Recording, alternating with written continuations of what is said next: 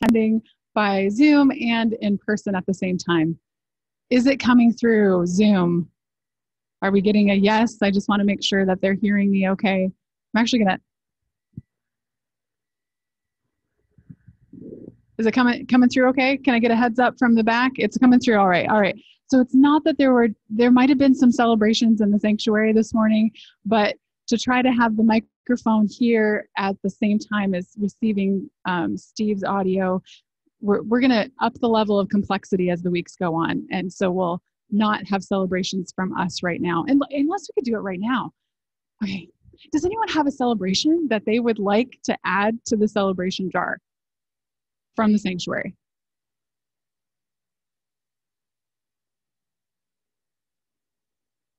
The sanctuary here this morning. And if you have maybe lit your Christ candle in your homes to join all together in the light of Christ, later we're going to be either singing in our homes or humming in the sanctuary. Um, go light your world. So it's so wonderful to have this candle burning this morning. God greets us this morning, brothers and sisters here in the sanctuary, brothers and sisters in your homes. Grace and mercy and peace to you from him who is and who was and who is to come, and from the sevenfold Spirit which is before his throne, and from Jesus Christ, the faithful witness, the firstborn from the dead, and the ruler of the kings of the earth. And all together, let's say, Amen. Amen. Jen will now, no, Carol. We switched it up this time. Carol is doing our call to worship this morning from in the sanctuary. Let us worship the eternal God, who is the source of love and life. Let us worship Jesus Christ, the risen one. Let us worship the Holy Spirit, who renews us. And let us praise the one true God at all times and in all places, here and on Zoom, through the grace of Jesus Christ.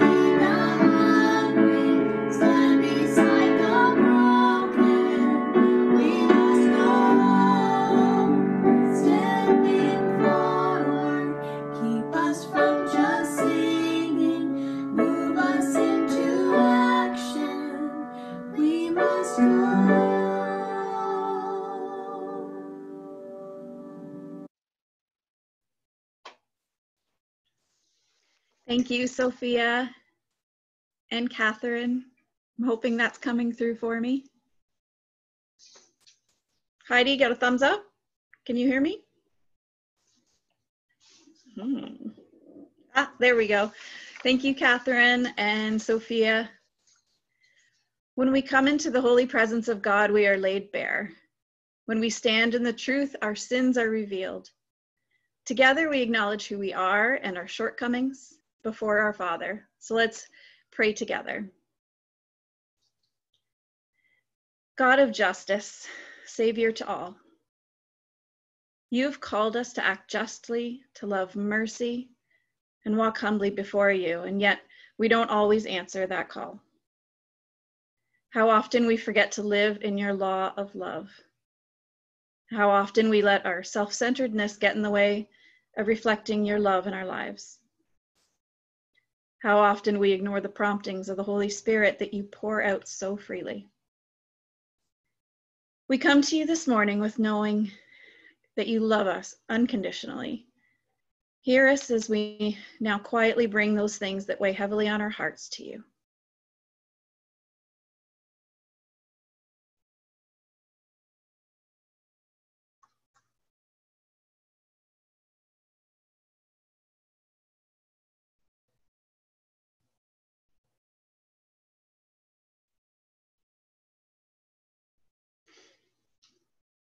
Forgive us, gracious God.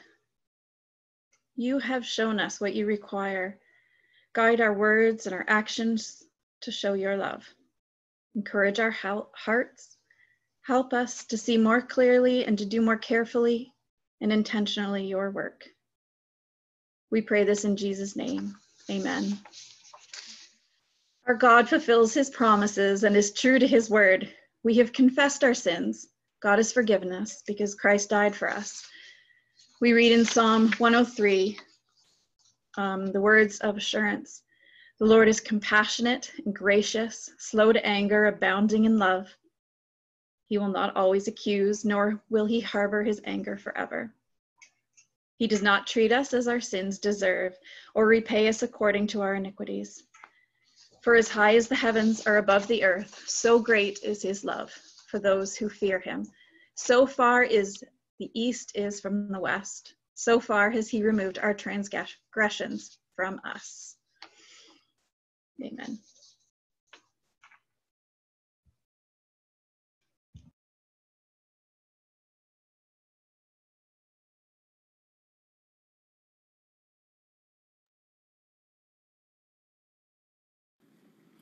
Hi, Westside kids. I want to talk a little bit about an idea today that um, that we do mention in church. It's a word that you'll be familiar with probably, and that word is praise. When we praise God, um, what does that what does that mean, and what does it look like? And today I want to focus not only on just praise in general, but specifically on your praise, the praise of children. In the psalm that Pastor Heidi is going to be talking about in just a few minutes, which is Psalm 8, uh, there's a verse that is really quite cool, and it says, Through the praise of children and infants, you have established a stronghold. Whoa, that what does that mean? The, a cool thing about the Psalms actually is that they are written as poetry, as songs. And with all good poetry, there can be lots of different uh, true things that you can get out of them. And sometimes when we come back to poems like the Psalms, we can get new true things out of them every time we come. And I think this line is one that, that we can see lots of true things in. Today, the true thing that I get out of that when God, when the psalmist King David um, says that through the praise of children, God has established a stronghold what that means to me today when I think about it is that your praise to God is important. It is so important in God's kingdom. A stronghold is something that we don't talk about as much as we talk about praise. Uh, but a stronghold is is like a fortress. It's like a safe place. It's a place of strength. It's a place uh, where you feel secure, um, where you're with people who who love you. And so, Children's praise in this psalm is not described as something that is um, sort of extra or just for decoration or not very important. Your praise to God is the source of strength for the kingdom. God builds a stronghold from the praise of children. And I think that's just so, so cool. Um, when you listen to the, those words and when you think about this psalm, um, I encourage you to think about what that means to you. Maybe there's another true thing that God puts on your heart when you hear those words. And I also want you to think about how we praise God. Um, we know that we can praise God through um, through singing. That's a great way that we can praise God. Um, but there are many, many ways that we can praise God through our actions, through our words, uh, through our attitudes and our responses to one another. And your praise to God matters. It's important to the kingdom, it's important to God, and it has been all through history. So bless you. Have a great week. Keep praising God because that's what we need for the, a strong kingdom of God.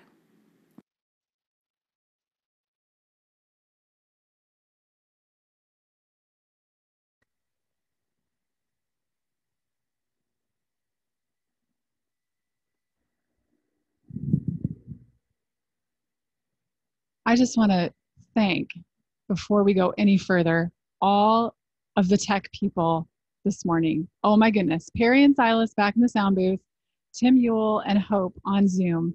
Um, and anyone else who's been troubleshooting with us, this is this is a quite a feat that's going on here. So we just also thank the Holy Spirit for being here and being our peace and our calm in the midst of um, doing a hard thing together. So, um, and thank you to to Catherine and to Jen and to Carol for your leadership in the service already this morning. So, this is the joy of the Lord. Thanks be to God. Okay. So, I invite you to turn in your Bibles if you're home with your own Bibles, or you'll be able to see on the screen Psalm 8 this morning is our text.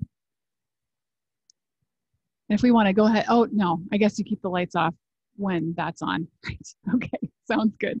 So I'm going to offer a prayer as we uh, enter God's word this morning, and um, it'll be from Psalm 8.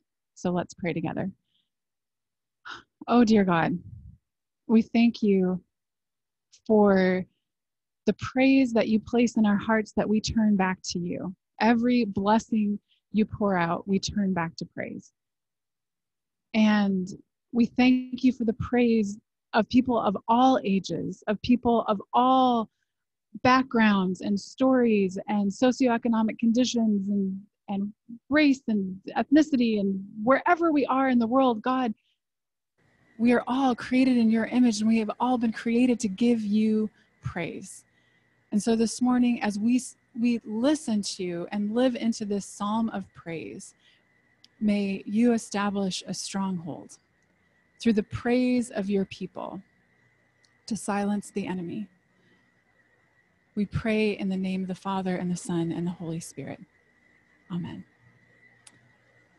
So, Psalm 8 Lord, our Lord, how majestic is your name in all the earth. You have set your glory in the heavens. Through the praise of children and infants, you have established a stronghold against your enemies to silence the foe and the avenger. When I consider your heavens, the work of your fingers, the moon and the stars which you have set in place, read it up there. What is mankind that you are mindful of them? Human beings that you care for them. You have made them a little lower than the angels and crowned them with glory and honor. You made them rulers over the works of your hands, and you put everything under their feet all flocks and all herds, and the animals of the wild, and the birds of the sky, and the fish in the sea, all that swim in the paths of the sea. Lord, our Lord, how majestic is your name in all the earth. This is the word of the Lord. Thanks be to God. So, as I'll explain in a little bit, this morning's message is a combination of the word that we receive from the Lord and also a good word from a brother in Christ. So, I graduated from Dordt University back in 1999 with a dual major in philosophy and psychology. And the same year that I graduated, one of my favorite professors and my mentor retired. His name is John Vanderstelt, and you see him here. Um, actually, you can go ahead and put it up because I saw it up back there. So go ahead and put it up. This is John Vanderstelt, John Calvin Vanderstelt, another John Calvin, um, and his wife, Sandy.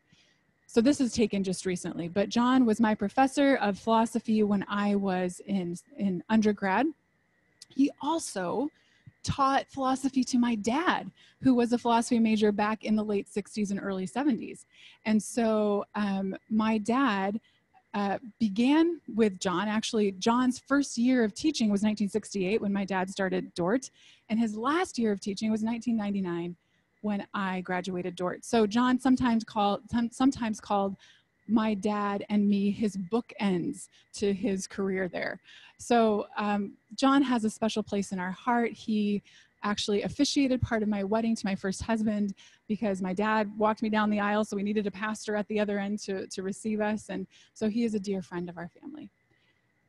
Eight days ago, John and his family were gathered together to celebrate John and Sandy's 60th anniversary and also the completion of the book that John had spent 21 years writing, all the years since his retirement, finally finished. And then they took a photo, this next photo, as a family. And moments after this photo was taken, John had a heart attack and went from the family that he was celebrating with into glory. That's so strange, right? Just to see this picture of here he is at the peak of his life in this moment of celebration, and then entering the realm of the saints of glory. And so today, in honor of him, I want to take that psalm that you just heard, Psalm 8 Lord, our Lord, how majestic is your name in all the earth. And I want to share with you some words from John from this book. This book's title is Marginal Resistance, and it's a book of essays published after John retired, written in his honor. And one of the essays is a conversation between the author of the essay and John, and it includes these words from John.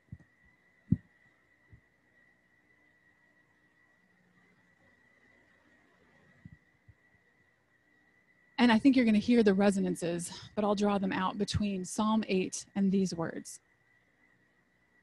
Loving the Lord's law of love is the secret to living a life of liberty. By being in Christ as the mediating Savior, we can, according to the biblical message, begin to discern, acknowledge, and celebrate God's revelation. Despite destructive evil and disruptive sin, still evident in creational existence, including human history. Our calling is to testify to this new reality in Christ and to do so in the manner in which we perform our different tasks. In a self effacing way, we must provide marginal resistance to life ruining forces in our self centered and restless culture. And above all, provide an ethos of faithfulness to God which arises like a flower from a soil drenched in spirit filled grace. In our daily life and in our theoretical reflection on life, we are privileged, living as we do under the rainbow of God's love, to further disclose the meaning of created reality to the benefit of all God's creatures, human as well as non human, and to the annoyance of all the forces of evil. I thank God as well for these words from John Calvin Vanderstelt.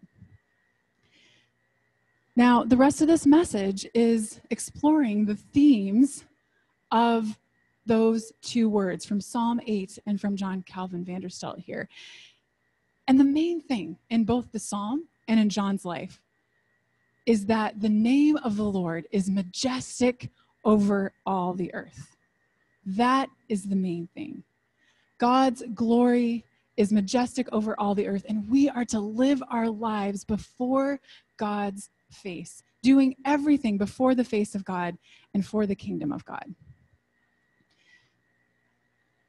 Now, that that that work and that life and that activity, um, when when the psalmist was alive, you know, it was it, he saw through a, glass darkly, right? But as revelation progressed and as we came into the new covenant, we knew that the Lord's majesty was best seen in the law of love, in God's love. And that the love of God is best seen in Jesus Christ. And so John talks about us living according to the law of love. He talks about us being in Christ, and he talks about us being under the rainbow of God's love. So the majesty of the Lord, which we see most clearly in God's love and in Christ, is the main thing. And that's the main thing for John. That was the main thing for the psalmist. Now, as God's human creatures, we are invited and we are privileged and we are blessed to be able to, bless you, consider the work of God's fingers, the moon and the stars that God has set in place. It is our privilege and our calling to consider what it is that God has done, to, to study and to discern created reality and how, how it all functions and how it all works. That is our calling and our privilege and our blessing. And any of you who are studying right now, that is what you are doing.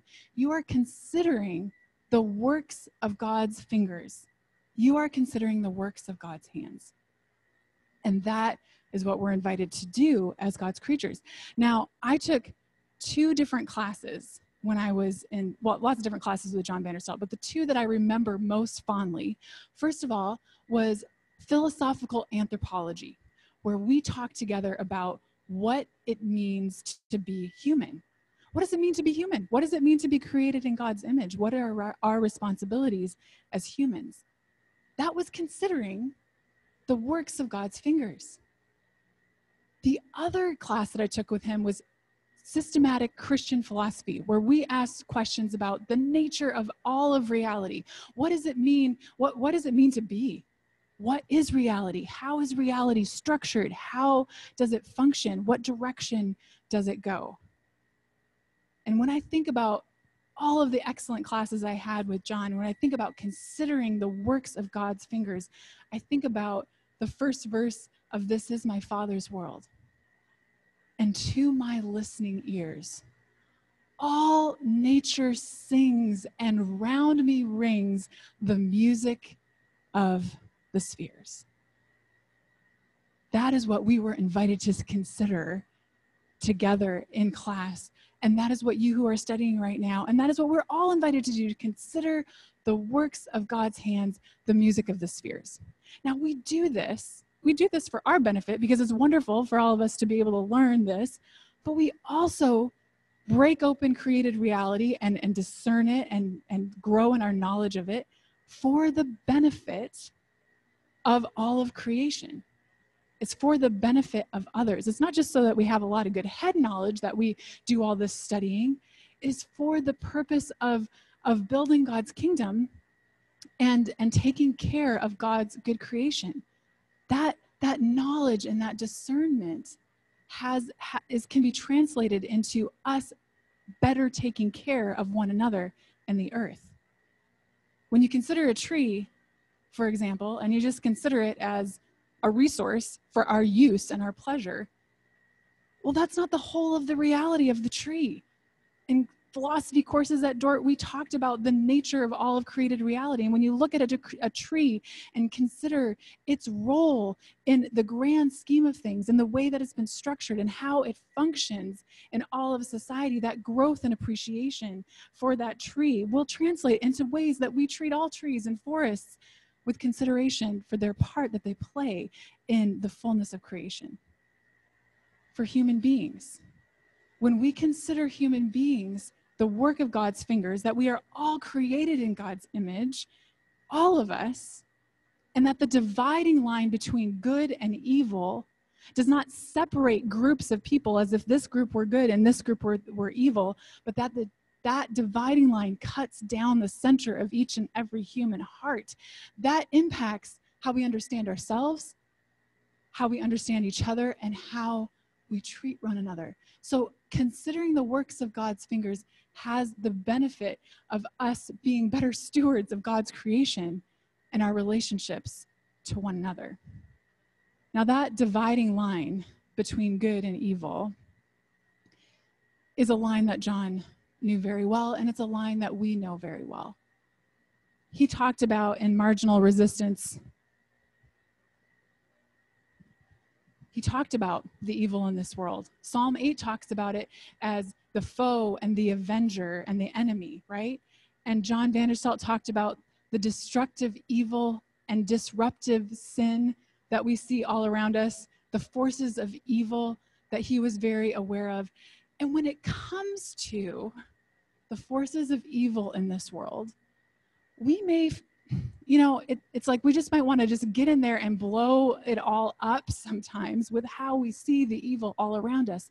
But what John called us to here, and we'll get into where we see this also in Psalm 8 in a moment, he says that in a self effacing way, we must provide marginal resistance to life ruining forces in our self centered and restless culture. We must provide, title of this book, marginal resistance. Now, what does that mean? Well, it means, I think it means a lot of things, and we could spend a lot of time unpacking that. But one of the things that it means is that we need, we need to be careful not to overestimate our power to dismantle the forces of evil or underestimate how deep evil runs. And so we need to find ourselves at the margins, pushing back where we can against the forces of evil. So that's one way to think about it. You think about us hanging out at the margins of, of cultural movements or, or things that, that are, are working against life and push back in ways, small ways perhaps, in order to dismantle these things slowly. But there's another way to think about that. It's it's thinking about hanging out at the margins of even good things, right? Like when you think about um, positive movements that you're a part of, and if you are a person who is at the center of a really good thing that's going on, and you have a lot of power in in doing that really good thing, it's really easy to forget about the people who are on the outsides of the center of that movement. And so it's important for us to hang out at the margins of anything powerful in order that we can see it from the inside and the outside at the same time. Marginal resistance means a lot of things, but one of them is is pushing back in small ways and in careful ways, um, both to the forces of evil and to the the good things that are going on where there's a lot of power, but to be careful to always keep our eye on what's going on in other ways, in other places. So that's one way to think about marginal resistance. When I think about marginal resistance, I also think about a story that John told about his life in this chapter where we get the quote of this or the title of this book. So John told a story from when he was 10 years old. It was Christmas Eve. 1944 in the Netherlands. World War II was going on. It was Christmas Eve in their little home. And six Nazi soldiers stormed into the house, furious furious because three of their friends had been killed earlier that day, and demanded food from John's mom, who was in the kitchen. And John's mom said, I no, I, I can't. And they said, Why? Why can't you? And she said, Because I have seven children. And they were so angry. And one of the soldiers, John remembered, took out his gun and started waving it around and said, I will kill them all. And John looked into the barrel of that gun. And he remembered thinking, God, I want to live. And at the same time, thinking, Mom, give these guys some food. And he says he'll never forget what his dad did. His dad went into the living room that was adjacent to the kitchen and got on the pump organ and began to play Silent Night, Holy Night. All is calm, all is bright. And John says that within moments, those six soldiers had calmed down. And by the end of the evening, they were singing Christmas carols together in the Vanderstelts' living room. And showing the Vanderstelts pictures, the soldiers were showing the Vanderstelts pictures of their wives and kids. And I want to get this quote exactly right that John said. Mm-hmm. John said, God used my dad's music to transcend otherwise insurmountable barriers.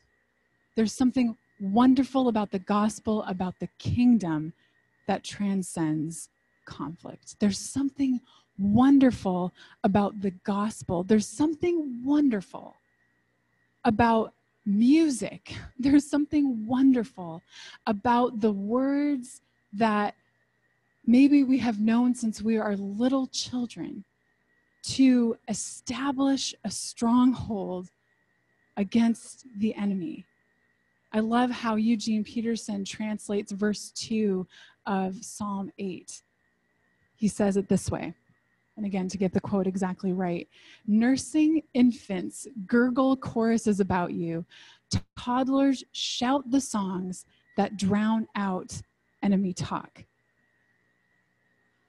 the praise of children establishes a stronghold against the enemy. And this was very, very important to John.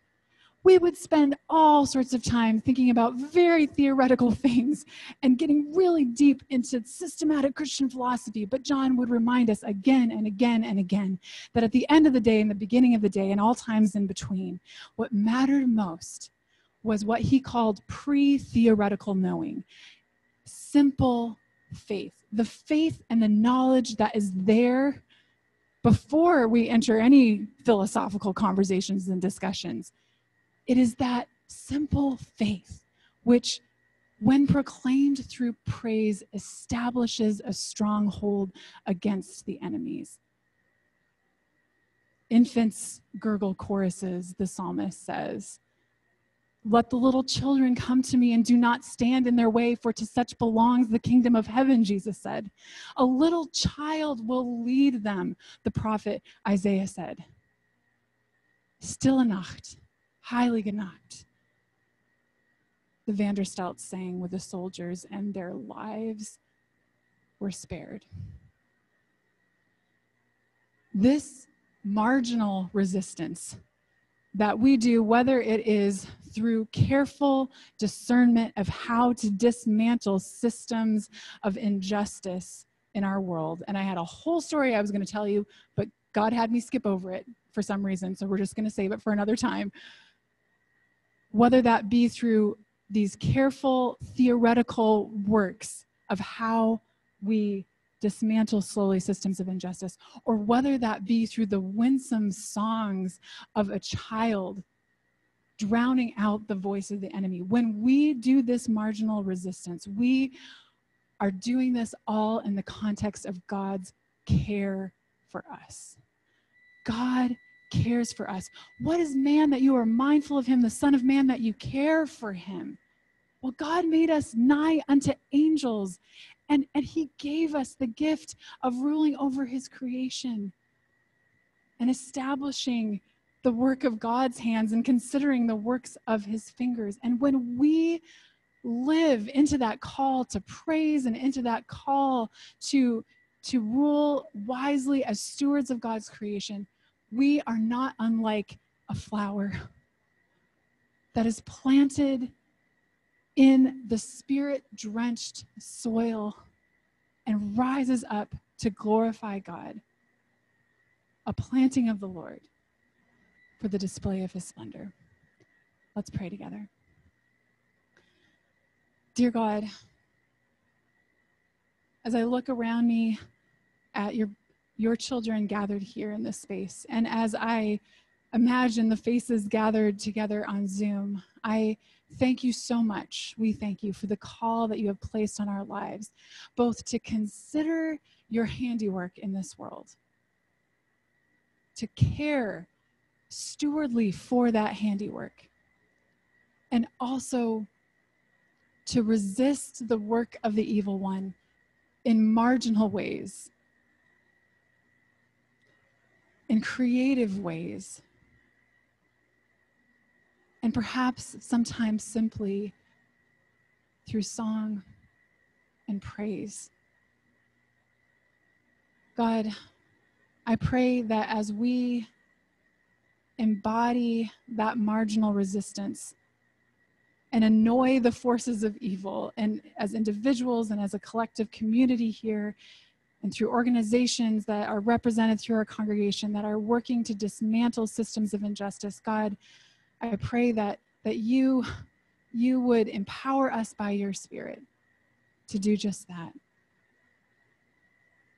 God, as we'll sing or hum in the sanctuary in a moment, we pray that we might light the world, that we might bring your light into the places of darkness, that we might hold the candle of Christ in all sorts of creative ways in this coming week. God, I thank you for the life of John Vanderstelt. I thank you for the life of all of those saints who have gone before and who have helped to shape us and mentor us and shape our minds so that we and our hearts, so that we might better reflect our Savior Jesus Christ, in whose name we pray.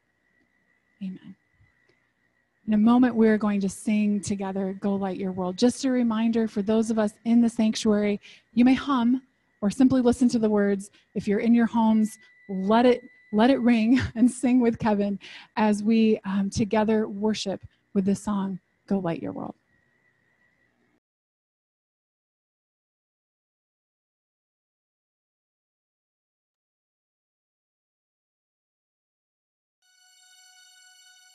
There is a candle in every soul, some brightly burning, some dark and cold. There is a spirit who brings a fire, ignites the candle, and makes his home.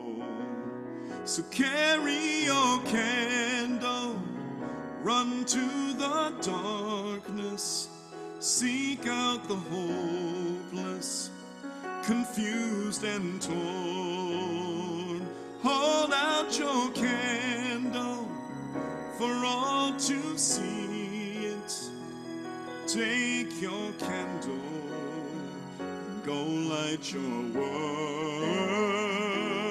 Take your candle, go light your world.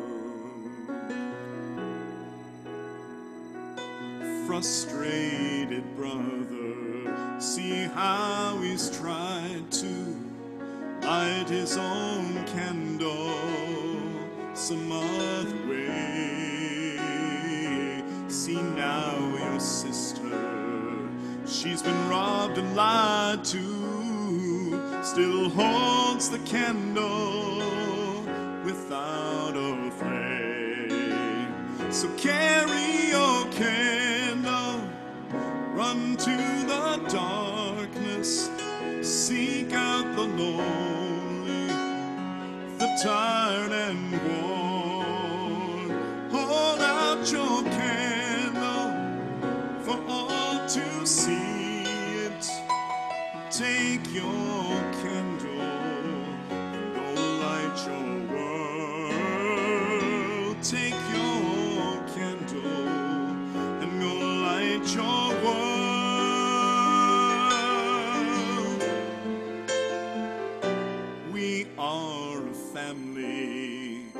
whose hearts are blazing.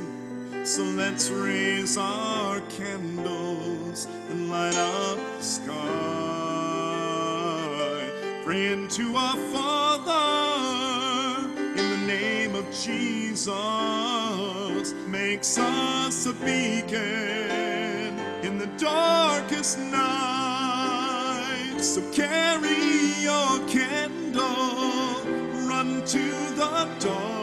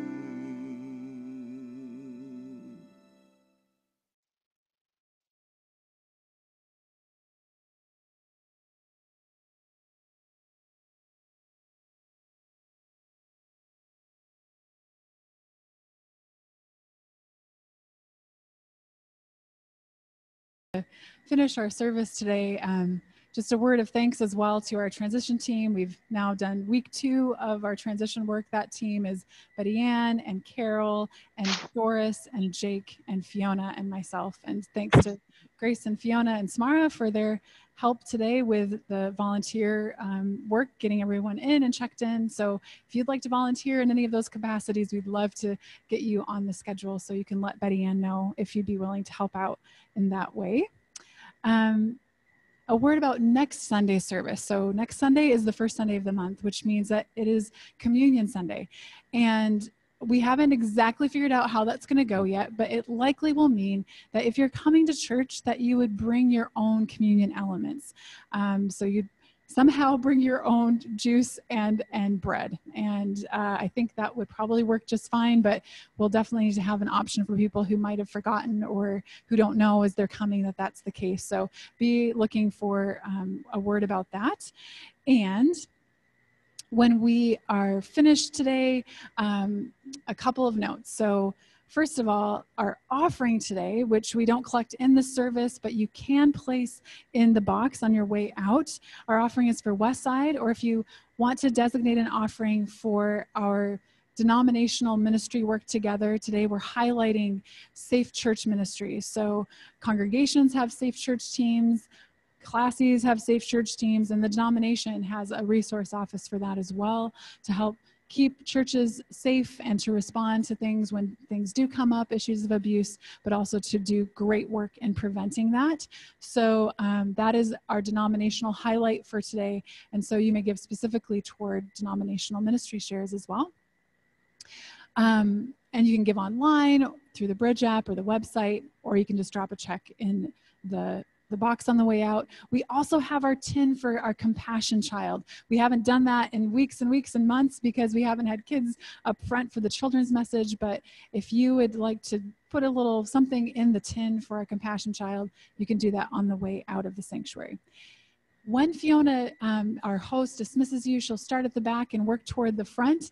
And we just ask that you go right out to the parking lot. We have another lovely day so we can spend some time speaking with one another. Just want to remind you to please make sure that there's distance between bubbles as you're having conversations outside. And if that's proving difficult, um, to keep your mask on as you're connecting with people outside. So that's just a good reminder for all of us as our neighbors pay attention to what's going on, especially as the numbers are rising in Kingston. They're looking at groups that are gathering, you know, outside. So we want to make sure that we're following social distancing um, protocol as we spend some time together out in the sanctuary.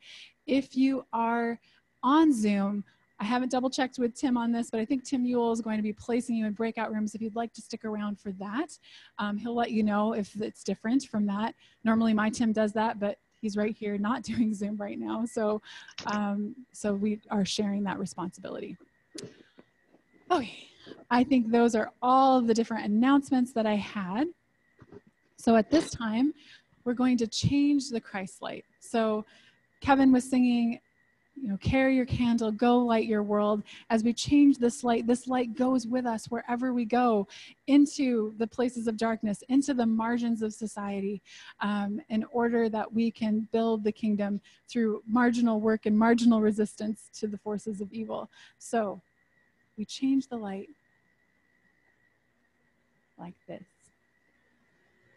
And then I will ask those in the congregation here, and if you'd like to stand on Zoom as well, you may certainly stand in your living rooms or wherever you're at. So if you please stand to receive God's blessing.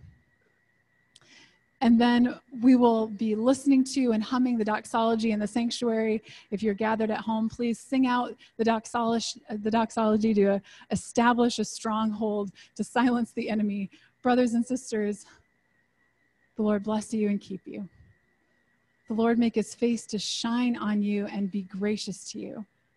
The Lord turn his face towards you and give you from the tops of your heads to the soles of your feet his peace. And all God's people said, Amen.